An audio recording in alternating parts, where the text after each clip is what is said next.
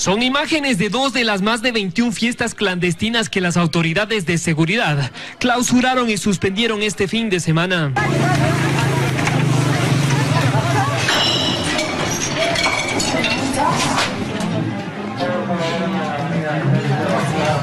Fiestas clandestinas desarrolladas la gran mayoría en el sur de Quito y en donde fueron encontradas más de 250 personas en estado etílico y sin mascarilla. Hay muchos menores de edad en estas fiestas. El día de ayer en Tumbaco había mayor cantidad de menores de edad que adultos en la fiesta que tuvimos en, en Pifo también y sucede similarmente en el sur y en el centro norte de, la ciudad. Pero las fiestas clandestinas no son el único problema al que se enfrentan las autoridades cada fin de semana.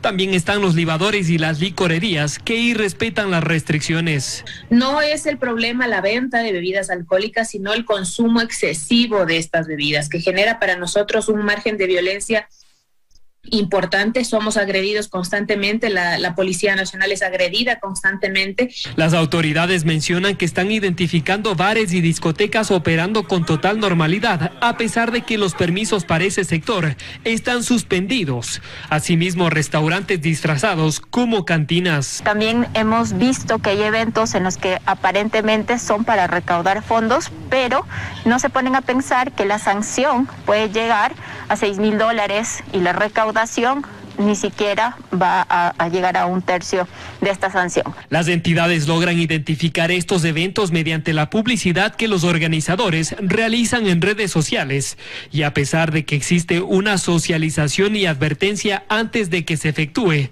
los mismos no cumplen con los pedidos. Tuvimos dos galleras, canchas deportivas, eventos deportivos. En este lugar nosotros encontramos una fiesta con más de mil personas. Asimismo, esta semana solicitamos al COE Metropolitano endurecer las medidas de movilidad en Quito frente a la indisciplina de los ciudadanos. La Ley Orgánica de Libre Expresión y Comunicación es el primer proyecto que el presidente Guillermo Lazo envía a la Asamblea Nacional. Con esta normativa se intenta terminar de desmontar a la ley de comunicación concebida durante el correísmo. Este proyecto tiene 14 artículos, dos disposiciones reformatorias, dos derogatorias y una disposición final. Pero, ¿qué se mantiene y qué cambiaría?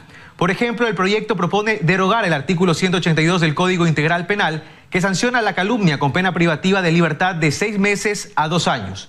También se pide eliminar el primer numeral del artículo 396 de esta normativa, que sanciona con hasta 30 días de cárcel a quien emita expresiones de descrédito o deshonra contra una persona.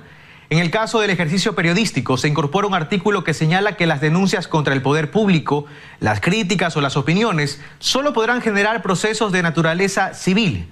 Se borraría además la determinación de información de relevancia pública, mecanismo que se utilizaba para exigir la publicación de agendas de funcionarios públicos, por ejemplo, la posibilidad de exigir rectificación de contenidos, la exigencia de identificar los contenidos como informativo, de opinión, entretenimiento y demás las franjas horarias familiares de responsabilidad compartida y solo para adultos. Por otra parte, el derecho a la réplica se mantiene y por ende cualquier persona directamente mencionada en un medio de comunicación de forma que afecte sus derechos a la dignidad, honra y reputación tendrá el derecho de que ese medio le dé espacio a la réplica de forma gratuita. Adicionalmente, se deberá crear una nueva ley para mantener las normas sobre producción nacional y la obligación de incluirla en al menos el 60% de la programación la prohibición de importar piezas publicitarias producidas fuera del país. Seguirá prohibida la publicidad de bebidas alcohólicas y cigarrillos.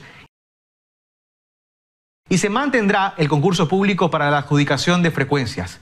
Para el trabajo periodístico se reconoce el derecho a la cláusula de conciencia y a la reserva de la fuente. Y se propone la autorregulación de los medios de comunicación a través de sus propios códigos. Este proyecto de ley debe ser tratado aún por la Asamblea Nacional. Walter Solís fue ministro de Transporte y Obras Públicas en el gobierno de Rafael Correa y ahora es uno de los 20 sentenciados en el caso Sobornos. Desde el 28 de mayo, el gobierno de México le concedió refugio luego de que los jueces de la Corte Nacional habían pedido su extradición desde los Estados Unidos. Existe grave riesgo de atentar contra su integridad física o, y en este caso, su libertad. Y este estatus migratorio le permite permanecer en este país y evitar cualquier tipo de trámite que tenga que ver con una posible extradición. El gobierno de México además le otorgó la residencia en este país. Con esto, el pedido de extradición queda sin efecto. Porque el, el país ha decidido, mejor dicho, darle asilo a esta persona eh, en contra del, pedido del país solicitante. De ninguna manera deja sin efecto la sentencia. Walter Solís es uno más de los actores políticos que encuentran refugio en México, pues en este país también se encuentra el exministro de Defensa Ricardo Patiño, los exasambleístas Gabriela Rivadeneira, Carlos Viter y Soledad Buendía, el ex superintendente de comunicación Carlos Ochoa, entre otros miembros del gobierno de Rafael Correa. López Obrador evidentemente se ha ubicado dentro de una vereda político-ideológica específica a nivel geopolítico y esto es lo que explica el por qué eh, acuden a México y no a otros países. Y es por una decisión 100% política, no jurídica. La Corte Nacional también prepara el trámite de extradición para ocho sentenciados más. Entre ellos están Rafael Correa, cuatro exfuncionarios públicos y tres empresarios privados. La congresista hispana Norma Torres de California rompe el silencio tras una serie de amenazas y actos de intimidación. Anoche llegaron unas personas aquí cerca de mi casa al cruzar la calle.